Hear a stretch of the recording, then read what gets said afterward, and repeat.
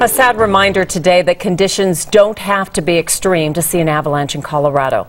A man died in an avalanche in Clear Creek County this morning. These are aerials from the slide from Sky 9. The victim and two other people were snowshoeing on Kelso Ridge, that's off of I-70 near the Bakerville exit in Clear Creek County. 9 News reporter Ryan Haarer is live where the rescuers brought the survivors. Ryan. Boy, Kim, this was a relatively small but a mighty avalanche on Kelso Ridge. Really packed a punch. It's on the way to a 14er just east of the Continental Divide called Torrey Peak. It's also near Grays Peak. A man, uh, two men and a woman met here in a parking lot off the Bakerville exit around 7 o'clock this morning to go snowshoeing. The woman was leading the group across some uh, pretty rough terrain at about 12,000 feet. She looked back at one of the men, and that's when the avalanche happened. That man was the only one to get caught and buried in the snow.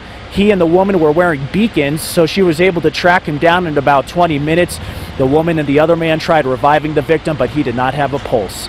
That's when she called 911 for help. The Alpine Rescue Team and the Clear, uh, Clear, Creek County Sheriff's Office responded to get them off the mountain.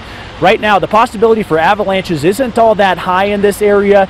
Even so, experts say they can happen, and the small ones can clearly be deadly. In a moderate avalanche danger, it means that the chance of a spontaneous avalanche, an avalanche just breaking and running down into the valley by itself, um, is decreasing, but it's still possible for human-triggered avalanches. And it sounds like that's what happened here today, was that people were um, crossing a slope that they had some concern about,